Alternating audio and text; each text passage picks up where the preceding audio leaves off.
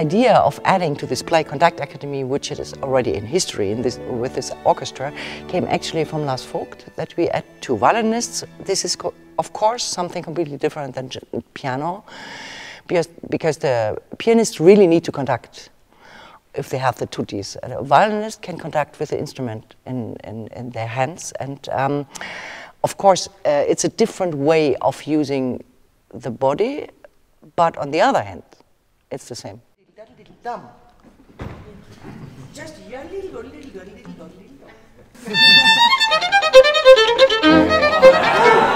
I decided to come here to the Play Conduct Academy in Paris because I think it was going to be a super involving experience that would let me grow a lot as a musician and also as a violinist, and that's what is happening.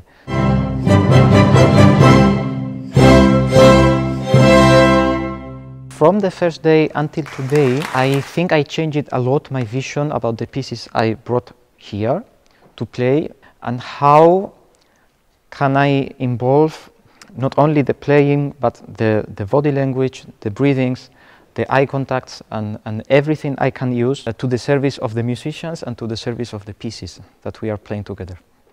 The playing and conducting is in some way, it's a different thing of course because the participants have their instruments with them, but also the actual basics of conducting which are breathing and the gesture that you actually use are always the same, they're universal. So whether you have an instrument in your hand or just a baton in your hand, um, the actual thought behind how you show and what you show is the same. So it's been a, um, it's in a way a new dimension for me to think about how you can show with an instrument, um, but also I think think for the participants it's been interesting to know some of the basics of pure conducting technique which we've been doing as well without the instrument.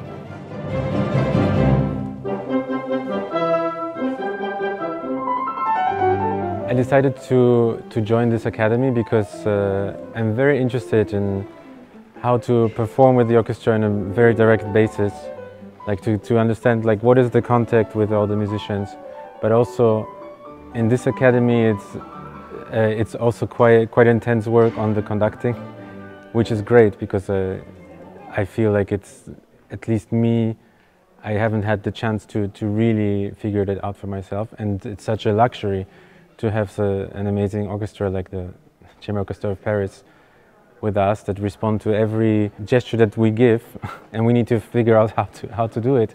But uh, every character change that we do, they do with us. And uh, that is, I think, is very special about this academy.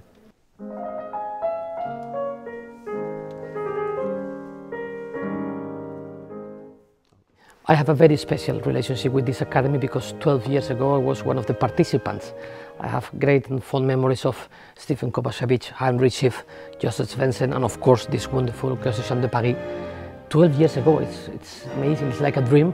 But 12 years later, here we are as a teacher, as a mentor, whatever you can call it.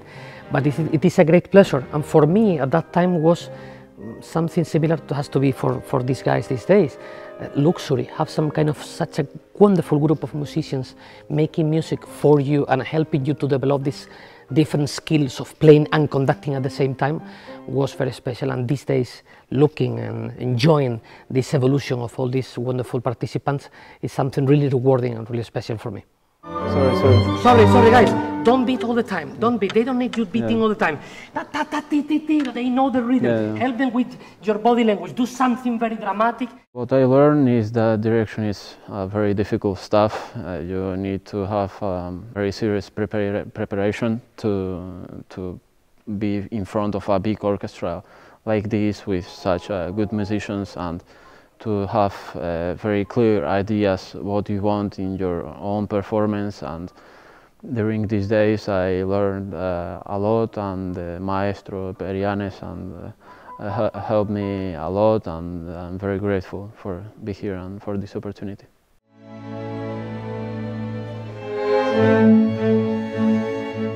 I think this whole experience uh, requires a lot of preparation and a lot of communication and you know that you're going to be in a very vulnerable state as a musician and as a person too. I wanted to kind of test my limits and see what I can do musically in a, you know, with, in a high pressure situation. You know, I, I wanted to kind of really figure out what kind of musician I am. You have to force them to look a little bit more on you now, because now you show things. Yeah. And you How do only, I do you're, you are only happy if you get what you want. Yeah. I learned how to be more aware of the situation and to inv- involve um, everyone in the orchestra. I really appreciate that someone is telling me directly, you know, and making me embarrassed and making me frustrated. I think they all learned a lot for, for their life. I hope they are all self reflected enough to understand what they still need to learn. And uh, I hope for, for their future that they go on in that direction also. It's a decision if you want, if you want to play conduct, yes or no.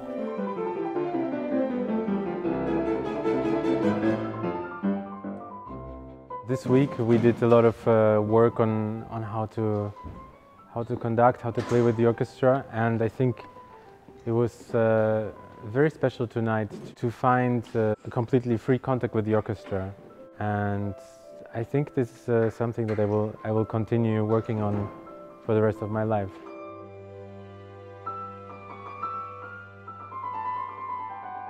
I would really like to thank the musicians of the Orchestre de Chambre de Paris for being very patient with us. And I think this will, it'll, be, it'll remain a very um, memorable time for me uh, for a long time.